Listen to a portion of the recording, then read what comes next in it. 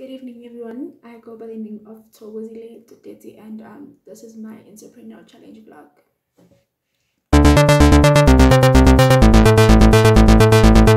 So before I already knew what I was going to sell, I already knew that my target market would be students because I mean we interact with each other on a daily basis as students. So I sat down and thought about like how students would like like a snack that they would eat when they're studying or during their study breaks.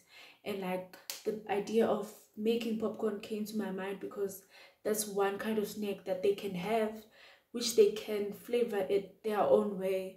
So like some can decide to put salt or put their own flavor spice it up the way they want to.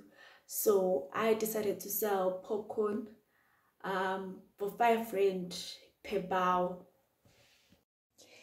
uh, as I've said that I've decided to sell popcorn, um, these are the two key ingredients that I'm going to use to make popcorn.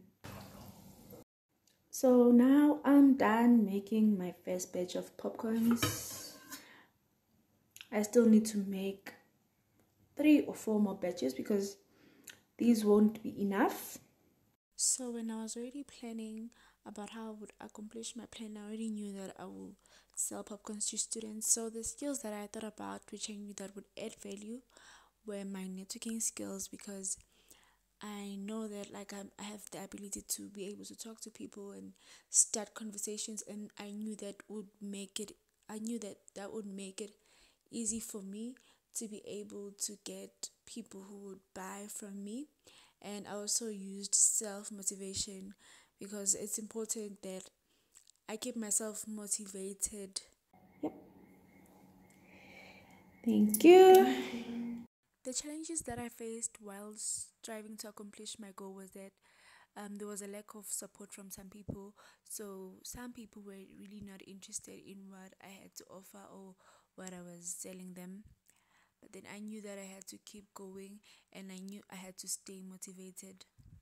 I utilized um, me staying on campus as an opportunity because um, I was able to sell popcorn to people, to some of my mates at night or during study breaks without feeling unsafe because I knew uh, that I was still within the premises of where I live and I was able to sell to a lot of students that live um, in the same premises as I do.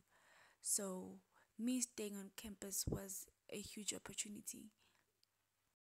I used an article from Forbes as a source of information because I needed to find out which other essential skills do I need to have as an entrepreneur. So that article was about essential skills that every entrepreneur needs to have. So we've come to the end of my video. Thank you for watching my vlog. I really hope you enjoyed it. Bye.